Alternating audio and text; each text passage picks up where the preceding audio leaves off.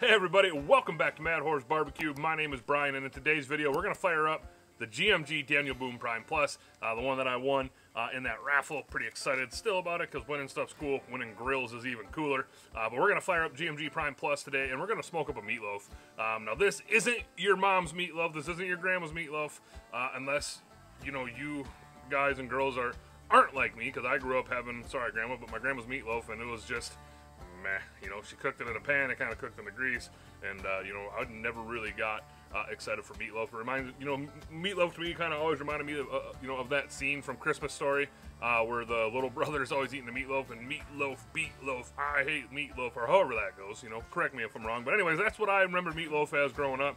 Um, doing it out on the grill, uh, it's just a you know, just way you know, it, it's just really good. Um, you know, and I don't I don't cook it in a pan. I want to cook it right on more or less like a disposable drying rack or a disposable tray. Uh, to get some smoke penetration through it. Uh, no ketchup in this meatloaf. It's going to be barbecue sauce.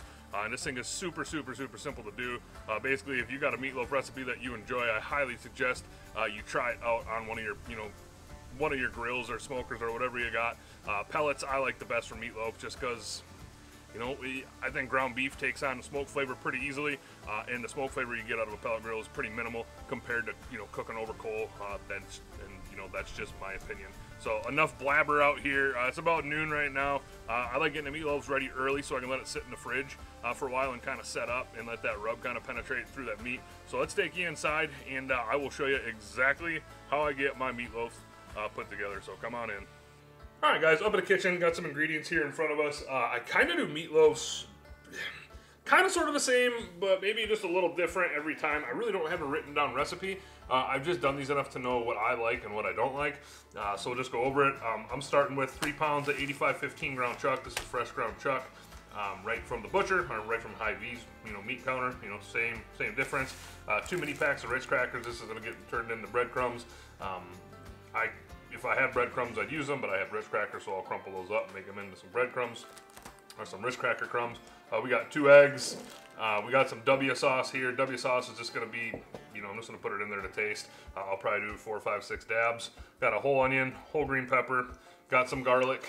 Uh, we got some uh, Blues Hog raspberry chipotle. Again, um, like I said, this isn't your mom's or grandmom's meatloaf unless they use barbecue sauce. And if you know if that's the case, you know, that's that's pretty neat. Uh, and then uh, for seasoning, instead of using salt and pepper, I'm just gonna go ahead and use my go-to rub here. You know, the Tailgater Barbecue Party rub. I know it's gonna be great in this meatloaf. So instead of the salt and pepper, I'm gonna use Tailgaters. Um, so first things first, uh, one little secret I like to do is before I put the loaf together, I like to get the uh, the green pepper and the onion diced up, and I actually kind of like to, to fry it just you know, kind of sort of cook it uh, on the stove top. Not all the way, but I like to cook it on the stove top with some garlic uh, and with some barbecue sauce. And uh, I really think uh, it gives the veggies a nice flavor and it kind of, it starts out the process of the meatloaf and it puts flavor into the loaf before you really even cook it.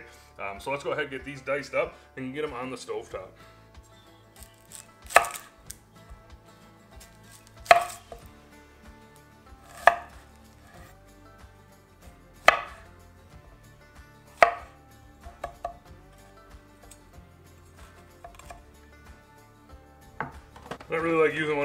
dicers, and you can see the size of the insert I got in there. Um, I do have a, a small insert, but for meatloafs, I do like the veggies to be a little bigger. So again, these things are super easy to use. Pretty much just take your green pepper, put it in, drop it. Do the same thing with the onion.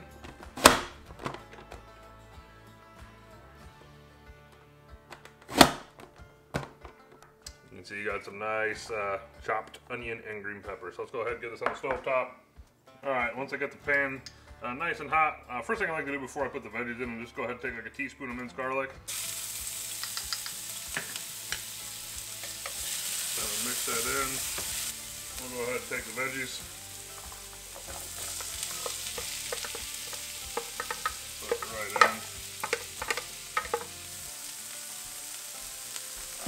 these are cooking away, I'm gonna, I am gonna go ahead and take a little bit of my seasoning uh, and, use, and just put it right on the veggies.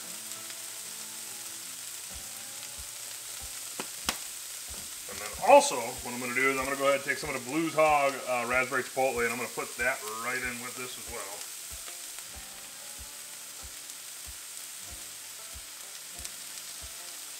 Just like that.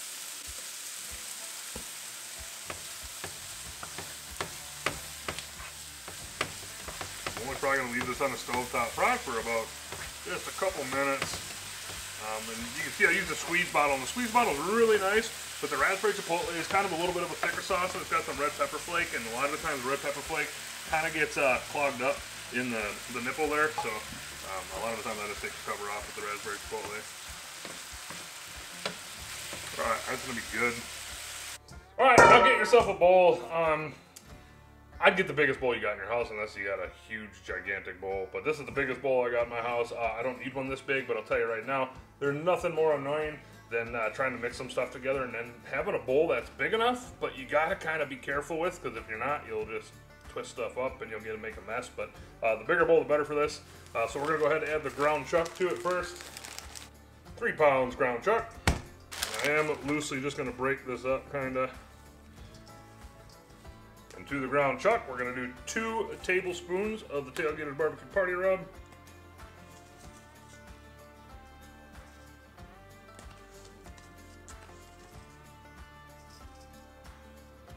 Go ahead and take our two egg, which two eggs which I've scrambled up. Go ahead and take our vegetable mix. This has been cooling for about 10 minutes. Uh, the ground chuck is cold, so really get everything out of there, all that garlic and everything, because like I said, garlic really does make this meatloaf good, I think. And then we're just gonna start with, uh, sorry, and then we're gonna take uh, the W sauce. Oh my goodness, I can't believe I forgot, almost forgot that. And we're gonna do about one, two, three, four, three, three, three, that many of the W sauce. Uh, there is Worcestershire powder, there is W powder in the Tailgater Barbecue Party Rub, so we already got some of that incorporated in there with the veggies and now uh, and the meat.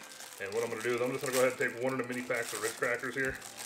We're going to start with one, and then we're going to mix it up. And then if I think it's a little loose still, uh, I'll put another one in there. But you always, like uh, like when I do these, I always start on the, the lighter side with the breadcrumbs.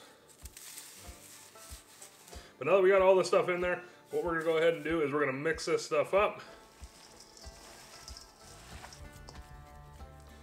Go ahead and add a little more Ritz cracker to it.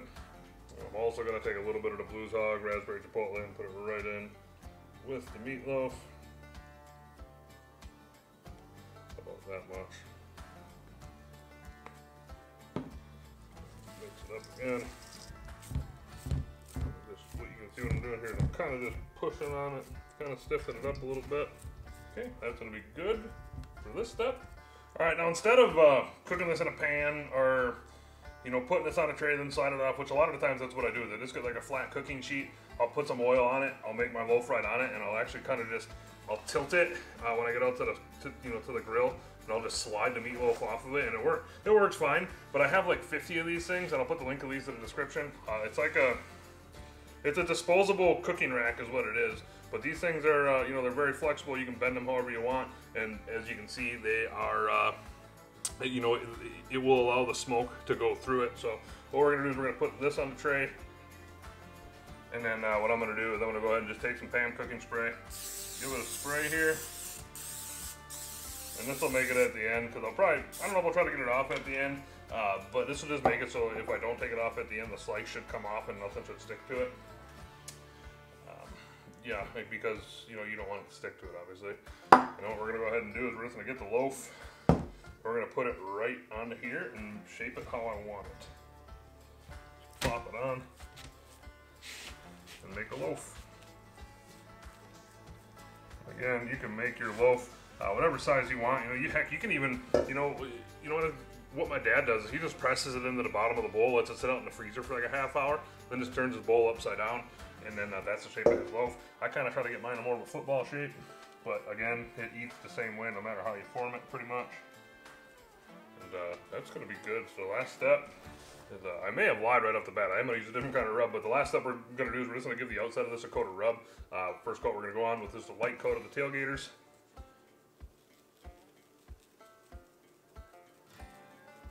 Just like that. Then we're going to go on with the uh, the Blues Hog Sweet and Savory.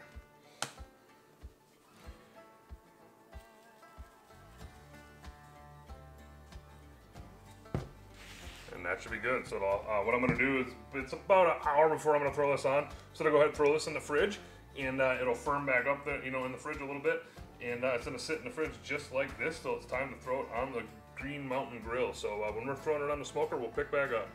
All right, now at the grill, got the meatloaf right here. GMG is heated up to 225. That's gonna be our cooking temp today is 225. Let's go ahead and throw this thing on. And another nice thing about using these racks is you can just pick it up and put it right on, and you don't have to handle that loaf.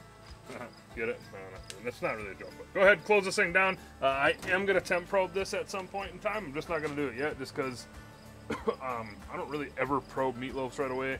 Um, you know, when it comes to it, I don't really, you know, a lot of stuff I don't probe anymore, but meatloaf I will. Um, but you know, we'll probably check back in here in about an hour, hour and a half ish, and then we'll uh, give you a peek at it, and then we'll throw a probe in it. So we'll see in a little bit. All right, guys, we're back. Uh, been on for about an hour and a half. Internal temp right now is at uh, 133, almost 134, using my ThermoWorks uh, Smoke X4 with that needle probe again. Big fan of needle probes. Again, I will leave links uh, to that in the description as well as everything else I use in this video. You know, as far as uh, you know, like the sauce and the rubs and stuff, I will also uh, leave a link of that in the description. Um, for those of you who want to know, you can kind of see through that uh, viewing window there, but I'm using a combination of uh, Lumberjack 100% oak and Lumberjack char hickory. Um, I really like the blend of those two together. I'm a big fan of oak, big fan of hickory, big fan of charcoal, and I think the three uh, combine, or the two things combine, there are three, there are three elements, you know, oak, hickory, charcoal, um, but they're two different kinds of pellets, and I think all of them combined make a really good thing. But you know, we're at about 134. Take a peek at the loaf right there. See, I got the needle probe right through there. Isn't quite in the center. Uh, in center, I mean, it's not like quite like right in the thickest spot of loaf. I'm sure it's actually probably a little lower than 134. But anyways, we're gonna go ahead and close this thing down. Once it hits about 145-ish, I'm gonna start glazing this uh, with some uh, Blues Hog Raspberry Chipotle. Uh, so when I do that, uh, at least for the first glaze, I will pick back up. So we'll see in a little bit. All right, we're back. Uh, internal temp on the meatloaf is at about 150. Gonna go ahead and start glazing this. Um, got my sauce. Trying not to burn myself right here on a little disposable tray. What I like doing with sauce uh, it spreads a lot better uh, if you preheat the sauce up. And the sauce we're using today, like I said, is the Blues Hog Raspberry Chipotle. So let's go ahead and give it a glaze.